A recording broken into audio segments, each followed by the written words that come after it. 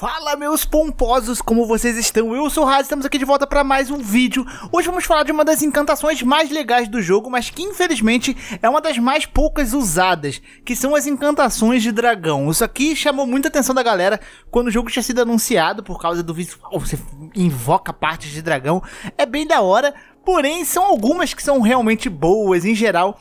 Infelizmente, elas não são tão fortes, mas tem umas que são boas que a gente vai mencionar aqui, obviamente. Porém, é um tipo de magia que eu gostaria de ver um buffzinho para aparecer mais dentro do jogo. Vamos mostrar aqui então as melhores encantações de dragão. Antes de começar o vídeo, então não esqueça de seu like, se inscrever no canal, puxa seu banquinho e vem com nós. Então vamos começar, vou mostrar aqui as magias onde você pega e depois eu vou mostrar ali as melhores builds e coisas caso você queira maximizar o dano dessas magias. Beleza?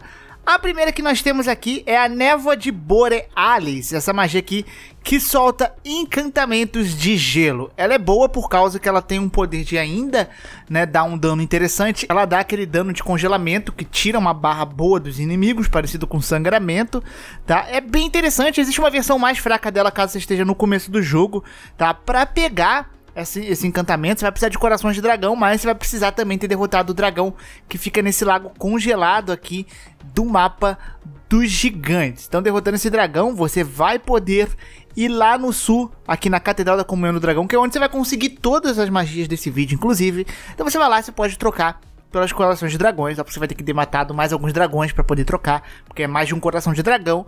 E aí você vai ter pego esta magiazinha aí bem da hora. Você invoca esse dragão de gelo e solta gelo brabo na cara dos inimigos. Bem interessante. Em sequência, nós temos aqui o rugido de Greyroll. Esse ataque aqui, ele dá, como diz o nome, um rugido gigante de dragão. Além dele dar dano, ele tem um efeito muito legal, que é diminuir o ataque e a defesa dos inimigos. Isso é bem útil, você consegue dar stagnas em alguns inimigos menores, mas é bem útil para chefes que você consegue atacar primeiro.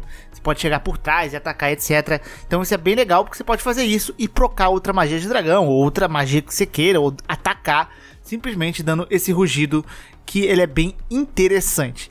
Esse rugido de Greyroll aqui você consegue em Kaelid. Lembra aquele dragão aqui perto do forte que ele fica caído? Você pode ficar só batendo nele ou você pode derrotar os mini dragão que estão na frente dele? Então, basicamente isso. Né? Você pode derrotar esse dragão e automaticamente você vai desbloquear também lá na Catedral do Dragão este grito, este rugido aí bem interessante, bem legal para usar antes das próximas magias do dragão aqui. A próxima que nós temos aqui é o sopro podre. Existe uma versão mais bufada dele, mas essa versão é melhor porque ela é mais rápida, você pode usar no cavalo, por exemplo. Ela aplica muito bem o que é o objetivo dela, que é aplicar podridão escarlate nos inimigos. Então é bem legal você usar ela em combo com o rugido, porque o dano da podridão escarlate vai ficar procando bem mais alto por 60 segundos.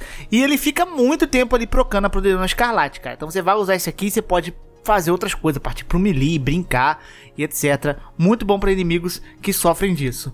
Essa aqui você basicamente tem que ir lá na comunhão do dragão só e ter corações de dragão. Basta trocar, não precisa matar nenhum dragão específico para pegar esse aqui de podridão escarlate, que é bem da hora.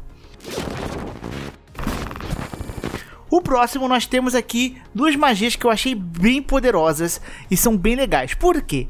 A maioria das magias do dragão, elas têm um problema que elas são lentas para castar. Quando você for ver essa aqui, por exemplo, ó, o tempo que você vai ficar ali, até isso aqui, o inimigo te dá um supapo. Então, isso aqui acaba sendo muito ali dependendo de summons para você distrair o inimigo, etc. Porém, por que eu acho que essas duas são bem poderosas? É pelo fato de que elas criam uma excelente Hyper Armor.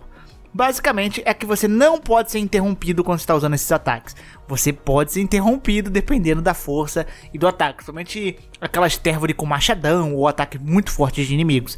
Mas ataques comuns de chefes inimigos, você ainda vai conseguir continuar dando esse ataque e bater no chão com a garra. Isso é bem legal. Essa garra, além disso, né, ela dá muito dano, um danozinho em área e dá um dano muito considerável nos inimigos. A grande desvantagem disso aqui é que o alcance não é muito grande, então se o inimigo estiver um pouco longe, você não vai avançar muito rápido até ele, tá? Mas ainda assim é muito interessante. E a versão bufada dela, que é mais forte ainda, é a mandíbula do dragão, que tem o mesmo efeito de Hyper Armor. Você não vai ser interrompido, mas ela ainda tem um ataque, um alcance um pouco menor na minha impressão mas você dá um mordidão de dragão que também tira um dano que machuca um amiguinho. Nossa, é bem poderoso, é bem interessante também que você não pode ser interrompido dependendo do inimigo. E essas duas também você pega lá na Catedral da Comunhão do Dragão, tá? Então essas aqui são as magias mais legais que eu achei mais fortes de encantamentos de dragão, mas vamos a algumas considerações se você for fazer essa build, se você for usar isso aqui. Algumas coisas você precisa ficar esperto, porque tem uns truquezinhos do jogo que você pode aí se ferrar se você não utilizar. A primeira coisa é que eu estou utilizando este selo da comunhão do dragão, tá? Isso aqui aumenta os encantamentos do dragão. Isso aqui é mais se você for focar em dar dano com esses tipos de magia só. Mas você, tipo, já usa encantamentos e etc, né? E você já tem um talismã, vai à vontade com o seu. Para pegar isso aqui é lá no começo do jogo, onde você começa mesmo, sabe? Onde tu começa aqui no antes da igreja, vai ter uma dungeonzinha que você pode, por exemplo, usar uma espadinha para entrar ali. Então, tem aquele cara que fica descendo no cavalo, numas rodas. Você desce e você vai derrotar um inimigo forte que vai dropar essa encantação do dragão, tá? É bem interessante. O atributo que eu recomendo você usar para esse tipo de magia é fé e arcano, tá? Eu tenho 50 e 35. Estou no NG mais 4, inclusive, então os danos que você viram foram no New Game mais 4. Então esse dano é bem maior, dependendo do New Game que você tá, porque eu não tô muito forte pro NG mais 4. E, né, outra coisa que eu quero falar é sobre os equipamentos aqui, os talismãs. Eu tô usando aqui os talismãs de que aumentam a potência de encantamento. Você pode usar o mais fraco e o mais forte junto, que eles combam, o que é bem legal. Então você pode usar esses dois talismãs combando aqui, que ele vai aumentar bastante o dano. O mais fraquinho, tu pega aqui em Kaelid, lá no sul de Kaelid, onde tem esta caverna da Célia. Aqui, ó, túnel de pedrilhante Célia. Fica bem aqui nessa posição, vai ter uma, uma parede aqui que você vai ter que bater uma parede invisível que vai revelar esta dungeon para você. Explorando, você vai achar esse talismã lá. E o segundo, você precisa fazer a quest da Millicent, que eu ainda não trouxe no canal, devo trazer em breve, tá? Então você consegue esses dois, esses dois talismãs aqui que são bem interessantes. Ah, segunda e terceira opção você pode escolher, só que eu preciso chamar a atenção de vocês para uma coisa. Existem talismãs que você pode achar que é muito bom e não são usando esses encantamentos de dragão. Um dele é o ícone de Radagon, que você diminui o tempo para lançar feitiços. As magias de dragão são bem lentas, então você acha que isso aqui vai te ajudar. Mas não funciona com encantamentos de dragão. Por isso que eu falei, tem coisa que precisa ser bufada dos encantamentos de dragão para ficar bem legal. E uma dessas coisas é fazer esses talismãs funcionarem com eles. Mas não funciona primeiramente. Assim como esse talismã também que é o melhor ataques de rugido e sopro, não funciona. E também tem esse aqui, ó, o ícone de Godfrey, por exemplo, que é melhora feitiço e habilidades carregados, também não funciona. Então não usem esses daqui, tá? Porque você vai achar que tá melhorando, na verdade você tá desperdiçando o talismã. Não funciona. E basicamente é isso, é a build, os talismãs que eu recomendo você usar, né? E aqui são os ataques do dragão. Eu acho bem legal o estilo delas, o, a forma que é a magia é muito bonita. Infelizmente não é extremamente overpower nem nada do tipo, mas é divertido você tá buscando uma build divertida e massa, né, com o estilão dos dragão. Eu fico por aqui então, espero que vocês tenham gostado desse vídeo. Um grande beijo, um grande abraço, um beijo no popô e tchau!